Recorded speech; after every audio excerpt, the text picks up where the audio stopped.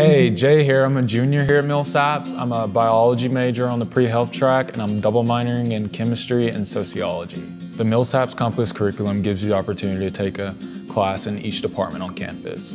Taking a business class here at SAPS helps me budget and also gets me one step closer to open my own medical practice one day. After my intro to management class ends, I usually swing by the CAF and eco grounds. Going to the CAF in the morning on campus is the best time to eat, study, or catch up on homework because it's relatively quiet.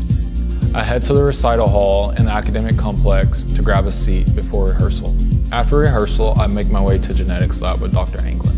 Labs at Millsaps are very interactive. Whether you're running tests or problem solving, you always know it's going to be time well spent. The Student Body Association at Millsaps has given me a voice to help my fellow classmates. Also, Millsaps has given me a home, and I was ready to give back to a place where I feel like I belong.